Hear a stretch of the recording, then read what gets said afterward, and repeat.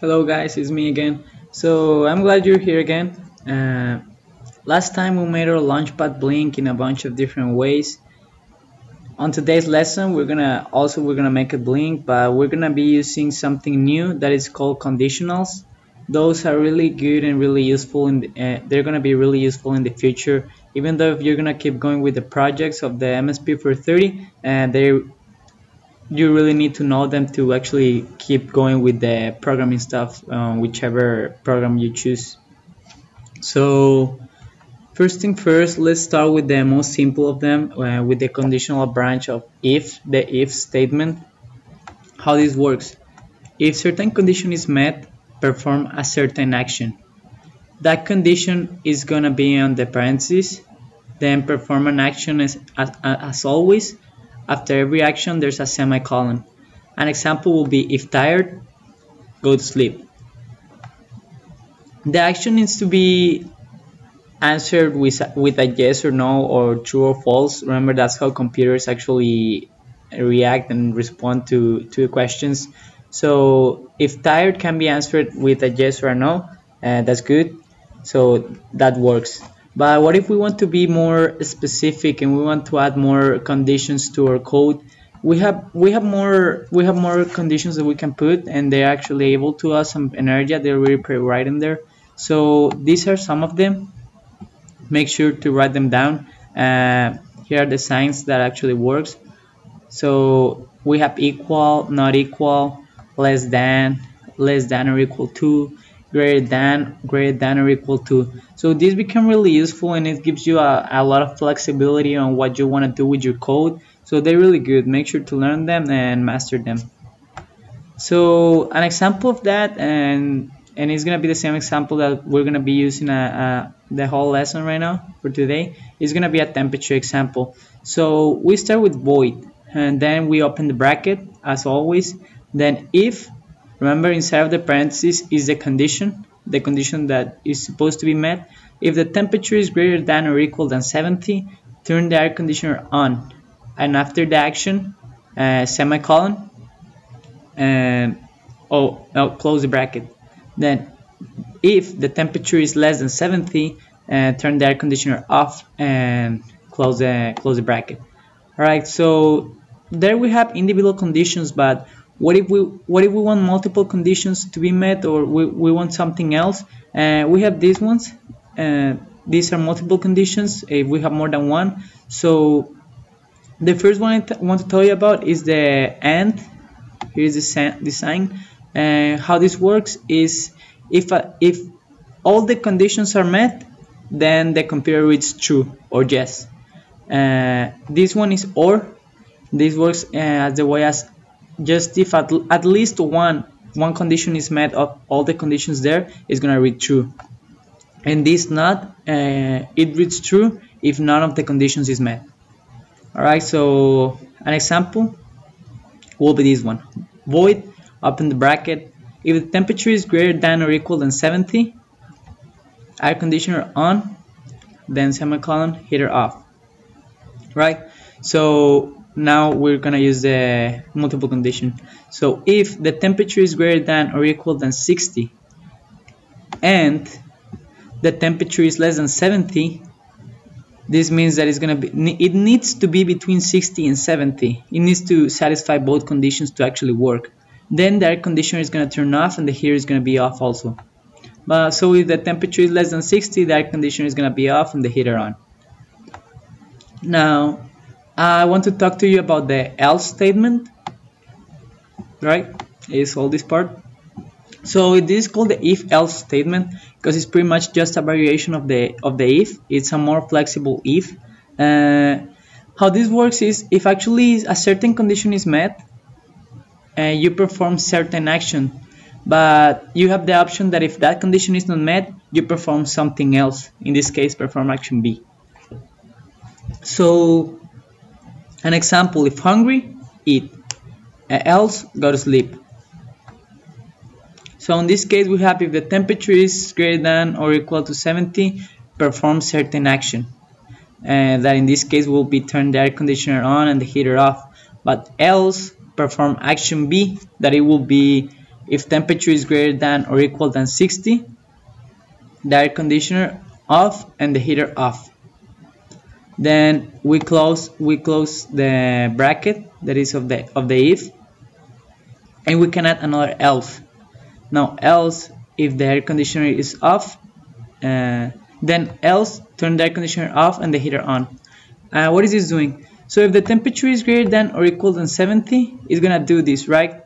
So, but if we get to this part of the code else that means that the temperature is less than 70 so here we're telling it that in, if it's greater than or equal than 60 then this means that this part all this part is gonna be between 70 and 60 but else is gonna do this. This means this is just gonna happen. You're just gonna go into this part of the code just if the temperature is less than 60 all right? So now let's go to another function and this one is called while so this one is really useful in cases that you don't actually know how many times you want to perform certain action.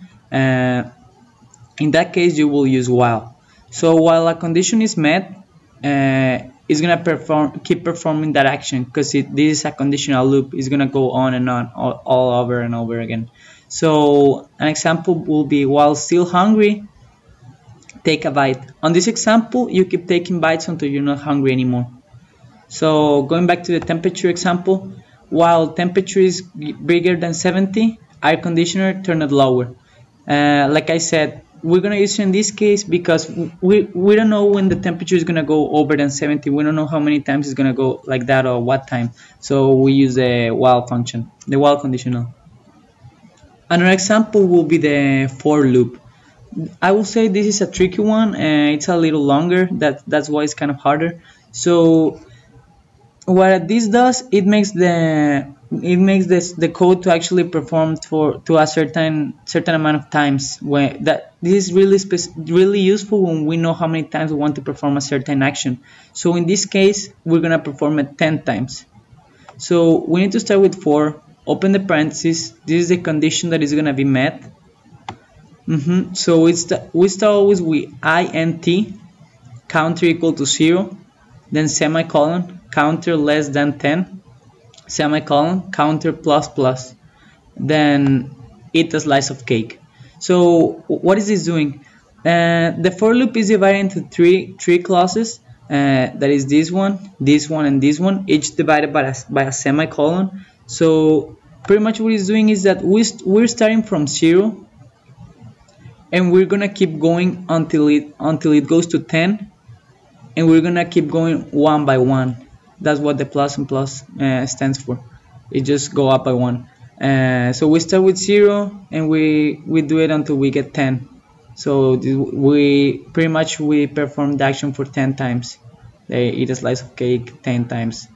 And when you get to 10 10 is not less than is not less than 10 so the actual condition is met and it stops.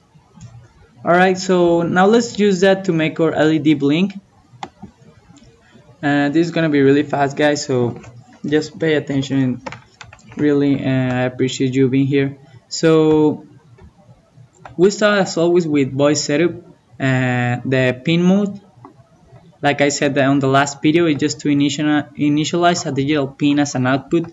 In this case pin number 2 remember that pin if you check on the map of the MSP430 that's the red LED and we're gonna set it as an output. Now we go to the loop and we're gonna be using the for loop for this project. So here you can see pretty much that we're gonna make it blink 10 times because we have the 10 here and we're gonna start from 0 so if we start from 5 we, we just make it blink 5 times.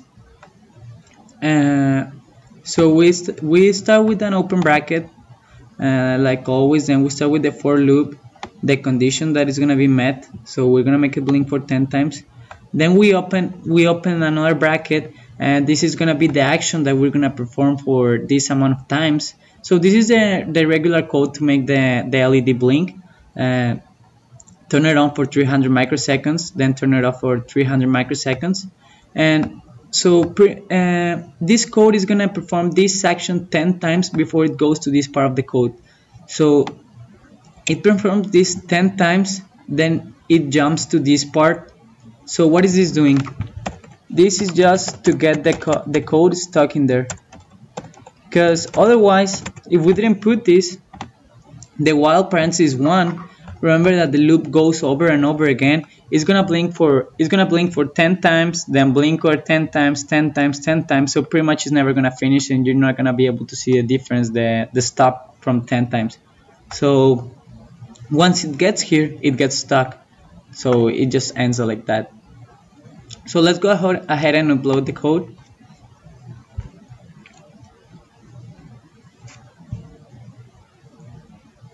One two three four five six seven eight nine ten. There you go. So here's a code for you. Uh, go ahead and write it down and try to analyze it. Uh, I will explain what, what is it doing but if, if you had some questions or anything just let me know write a comment and I want to put a, a variation of this code so for you to see it. It's this one same thing. Uh, we set up the pin the red LED as an output. But here we're gonna be using the while statement. So we initialize with 0 and while e i is less than 10 we're gonna perform this action. While i is less than 10 we're gonna perform it for 10 times.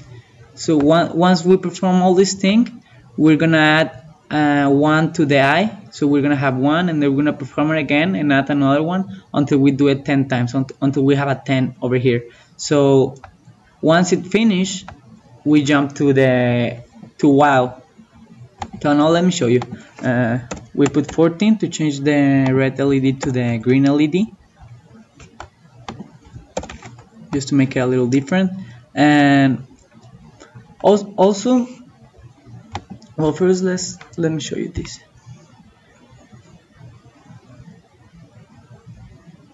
One two three four five six seven eight nine ten. There you go. So we need to put the while because we're on the loop but if, if we go ahead and just copy this just copy this into the into the setup. Like open our bracket and then close it. And erase all this. It should work fine. Because uh, on the setup it doesn't repeat over and over again. Uh, that should work and, in, and we don't have to put the while.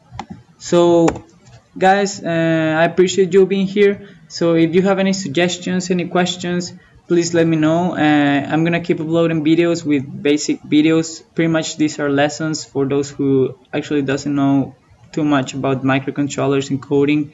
So i hope you learned something. I hope you like it. And i hope to see you around. Have a good day. Bye